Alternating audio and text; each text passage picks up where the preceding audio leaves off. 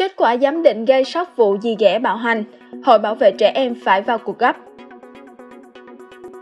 Chiều ngày 29 tháng 12, sau khi nhận được công văn khẩn của Ủy ban nhân dân thành phố Hồ Chí Minh liên quan đến vụ dì ghẻ bạo hành bé gái 8 tuổi dẫn đến tử vong, Ủy ban nhân dân quận Bình Thạnh bước đầu đã có báo cáo chi tiết về vụ việc. Cụ thể, vào khoảng 19 giờ 43 phút ngày 22 tháng 12, Công an phường 22 nhận được tin báo của bảo vệ bệnh viện trên đường Điện Biên Phủ có cấp cứu một bé gái tên VA, 8 tuổi cư trú tại chung cư Sài Gòn Bên, trên đường Nguyễn Hữu Cảnh, phường 22, quận Bình Thạnh trong tình trạng hôn mê, ngưng tim, ngưng thở nên công an đã đến hiện trường để ghi nhận lời khai ban đầu.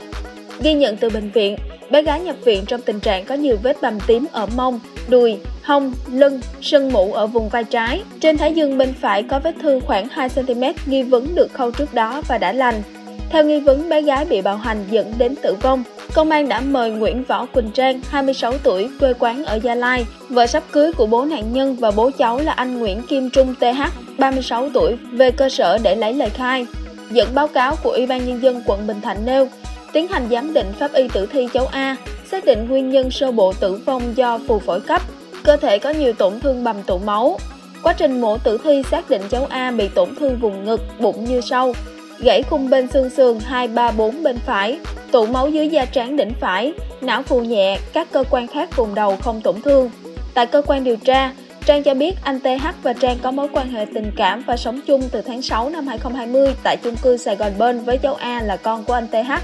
Khoảng 14 giờ ngày 22 tháng 12, Trang hướng dẫn cháu VA học bài trong lúc anh TH đi làm. Cháu A liên tục làm sai nên Trang mới la mắng và đánh cháu bằng gậy gỗ tròn đường kính 2,2cm dài 90cm. Trang đánh bằng gậy vào mông cháu khoảng 5-6 cái và đá vào cháu một cái. Đến khoảng 18 giờ cùng ngày, Trang phát hiện cháu A bị nôn ói trong phòng ngủ nên gọi anh TH về sơ cứu rồi đưa cháu vào bệnh viện cấp cứu và sau đó cháu tử vong. Trang còn khai nhận có khoảng 2-3 lần dùng roi may đánh và la mắng cháu trong lúc dạy học vào tháng 9 và tháng 10 vừa qua. Về phía anh TH, anh này khai với cơ quan công an rằng thường nghe Trang có la và đánh cháu A trong quá trình giao cho người yêu dạy kèm cháu học toán. Đặc biệt, anh TH khai ngày 11 tháng 12 có đưa cháu đến bệnh viện để khâu vết thương vùng đầu sau khi phát hiện thương tích. Cháu A nói với anh là do té ngã. Với lời khai trên của Trang, ngày 28 tháng 12, cơ quan điều tra công an quận Bình Thạnh đã khởi tố vụ án, khởi tố bị can và tạm giam Nguyễn Võ Quỳnh Trang về hành vi hành hạ người khác. Hiện cơ quan công an đang tiếp tục củng cố hồ sơ vụ án. Chiều ngày 29 tháng 12, Hội Bảo vệ quyền trẻ em thành phố Hồ Chí Minh đã có văn bản gửi các cơ quan quản lý về trẻ em, công an và Viện Kiểm soát nhân dân thành phố Hồ Chí Minh đề nghị cơ quan chức năng sớm hoàn tất điều tra để truy tố và xét xử nghiêm minh, đồng thời làm rõ vai trò, trách nhiệm của ông Nguyễn Kim Trung TH, 36 tuổi, cha ruột cháu bé, để từ đó xử lý đúng người, đúng tội bên cạnh vai trò trực tiếp của Nguyễn Võ Quỳnh Trang, 26 tuổi, người tình của ông TH trong sự việc nói trên.